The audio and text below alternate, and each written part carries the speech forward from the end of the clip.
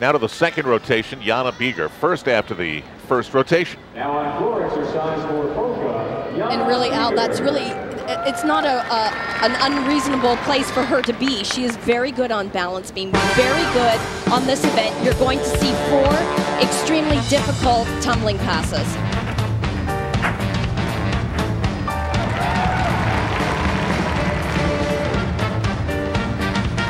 There's mom right there.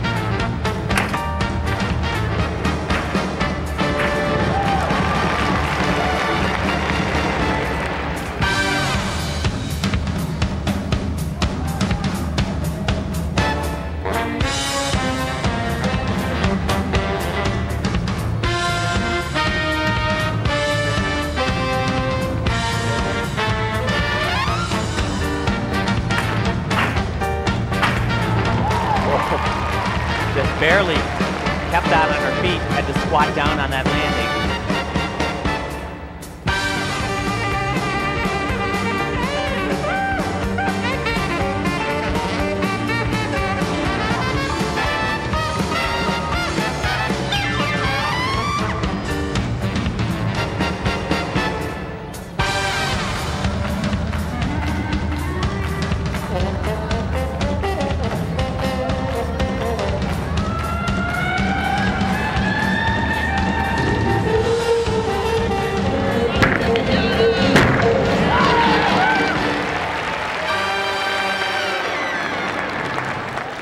Oh, we know one thing. She's got unbelievably strong legs. Yeah, obviously tumbling is her forte, and one area where she will improve down the road is in the choreography. They know that. They know she needs to work on it. She's still very young. And this is about for Jana Bieger and for Nastia Liukin going to the next level now, from junior to senior, continuing to show improvement and hopefully impressing Marta Karolyi and everybody else to get a World Championships appearance later on this year.